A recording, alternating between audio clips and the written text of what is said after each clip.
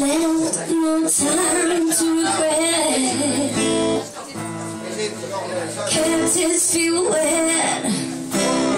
with hissing. Oh,